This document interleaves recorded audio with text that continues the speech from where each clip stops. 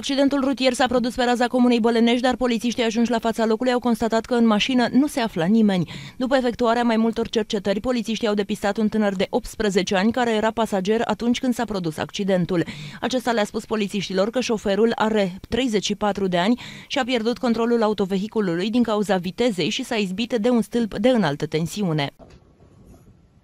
La data de 1 ianuarie anul curent, polițiști din cadrul Poliției orașului Bumbejiu au fost sesizați prin apel 112 de către un localnic despre faptul că pe raza comunei Bălănești s-a produs un eveniment rutier.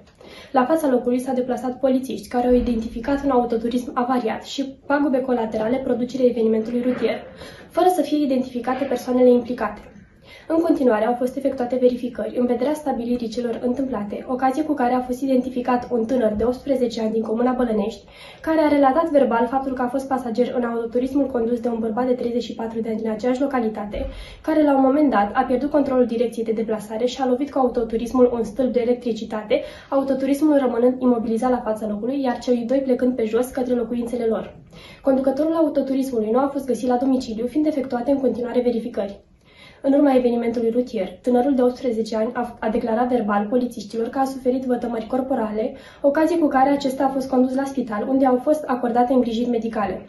În cauză s-a întocmit dosar penal sub aspectul săvârșirii infracțiunii de vătămare corporală din culpă și părăsirea locului accidentului. Cercetările sunt continuate în vederea documentării întregii activități infracționale.